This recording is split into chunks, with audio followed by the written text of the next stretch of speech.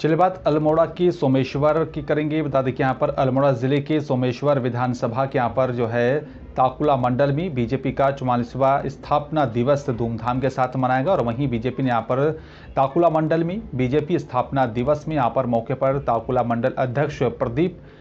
नगरकोटी ने यहाँ पर ध्वजारोहण कर दीप प्रज्वलित कर कार्यक्रम का शुभारंभ किया।